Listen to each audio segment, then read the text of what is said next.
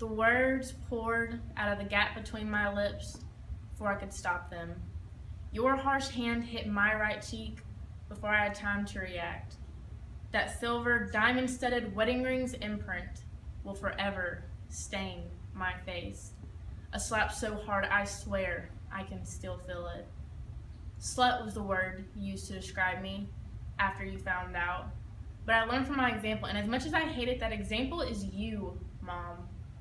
I'm so disappointed, you said. As if my romantic encounter even compares to the numerous you've had. As if those words didn't bounce around my brain when I heard you late in the night, the door shut and locked with a man whose deep voice sounded nothing like Dad's.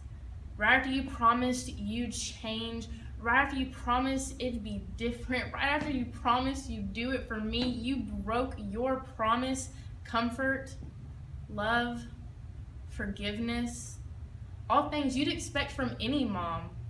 Just know the hatred isn't hidden every time your eyes wander my way. I see it. You don't hate me for who I am, you hate me for what I am, your daughter. I'm another you. And the one person you can't stand more than me is yourself.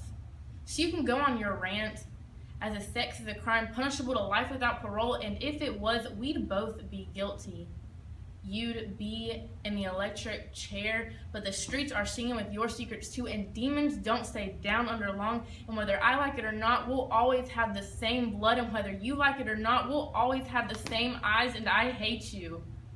Oh, I hate you, I hate you, I hate you.